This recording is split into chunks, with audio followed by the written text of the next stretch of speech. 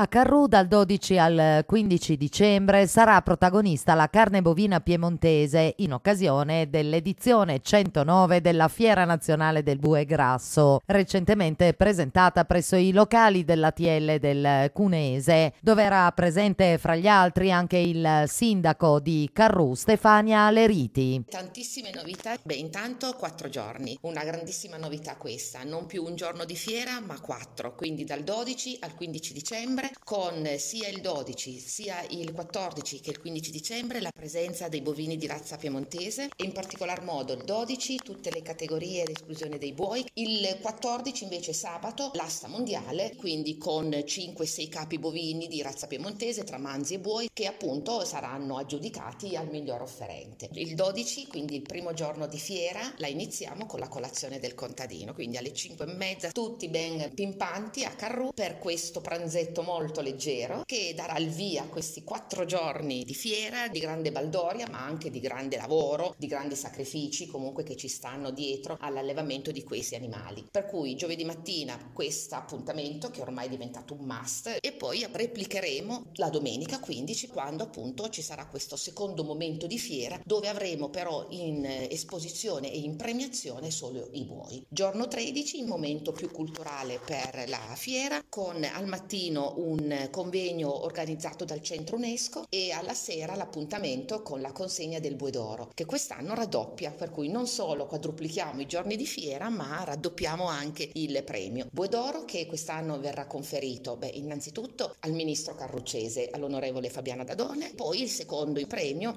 segue un po' il filone degli anni precedenti, una tematica molto particolare, l'uranio impoverito. Testimonial il colonnello Carlo Calcagni, l'atleta anche paraolimpico, che ha ribaltato sullo sport una modalità di rivincita perché andando in una missione di pace nei Balcani si è ammalato, contaminato con l'uranio impoverito e adesso sta lottando. Eppure, nonostante ciò, lui dice non bisogna mai arrendersi anche quando la vita sembra davvero difficile e impossibile, bisogna andare avanti ed eh, cercare di vincere. Ed ecco perché proprio per la serata del 13 avremo un convegno con il titolo A ogni sfida sfida bisogna rispondere noi non ci arrendiamo. Presente anche Gino Nasari, presidente della Proloco di Carrù. Una sinergia tra Comune, Proloco, tutte le altre associazioni di volontariato di Carrù. Abbiamo organizzato tutta una serie di eventi collaterali che principalmente sono eventi culinari. I prossimi appuntamenti saranno l'8 dicembre, il pranzo delle eccellenze. Durante questo pranzo serviremo delle eccellenze non solo